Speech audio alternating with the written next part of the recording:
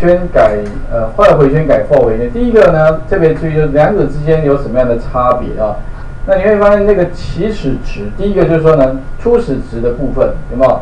因为在 for 回圈里面有所谓的初始值，初始值我们是因为是从一开始，那你会发现这个 while 回圈是放在这个位置，可是 for 回圈呢是放在哪一个位置呢？是放在好，我们切换过来，这边有没有看到初始值？两个放的位置是不一样的，有没有？这个也是初始值，两者之间呢只是放的位置不一样啊。第二个就是说呢，我们的这个条件啊，条件条件式部分呢，我们是摆在这个位置，有没有？刮弧，然后呢摆在这里。可是画呃放回圈的部分呢是摆在哪里呢？这个第二个条，第二个叙述啊，第二个叙述，啊这边摆在这里。